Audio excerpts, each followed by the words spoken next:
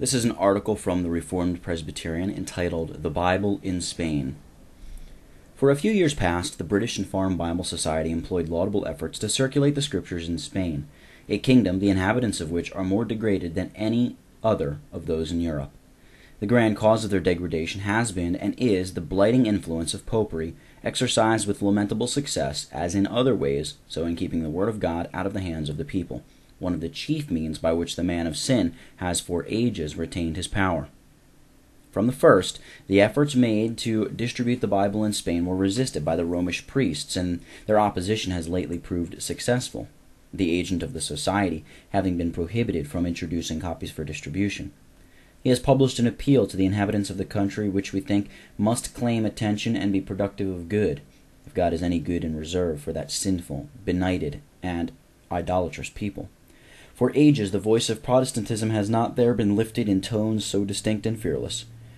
The agent closes his appeal by inviting serious attention to the two following facts. Number one, for two centuries past, the system that arrogates to itself the right to grant or refuse permission to, re- to read or print the holy word of the Creator and Judge of all men has ruled in such a way in Spain that up to the year 1836, there had been printed only 17,000 copies of the Bible, and even those altered, which were sold at the enormous price of from $50 to $80 for a copy. It is in this way that the party has succeeded in keeping the nation profoundly ignorant in regard to its dearest interests, both political and religious, while during the same period we have seen it lavishing millions and millions to maintain and extend its own power, both in Spain and elsewhere, at the expense of the happiness, the property, and the blood of incalculable numbers of men of all ages and every rank.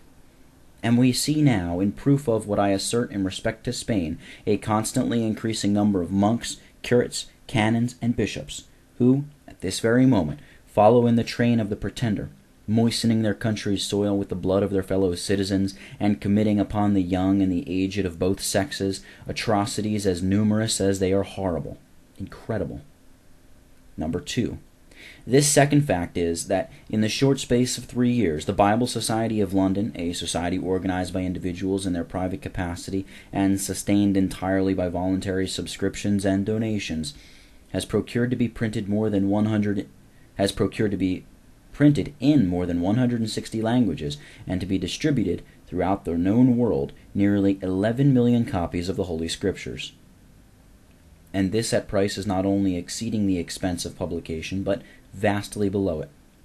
This society asks permission to employ $30,000 a year in Spain until every family shall possess an unaltered copy of the Book of Life and Light. It may be asserted, therefore, that the system which opposes the accomplishment of a wish so philanthropic can originate only in ignorance or hypocrisy. Its fruits must always be the most stubborn, and violent hatred to all free institutions and cruelty to all who shall refuse to become its partisans and admirers. In a system that can maintain itself only by means of despotism, of the Inquisition, and the rack,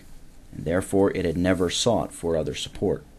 Darkness is its argument and its refuge. It abhors the holy word of God, because always in evident opposition to it, and because its works are always evil.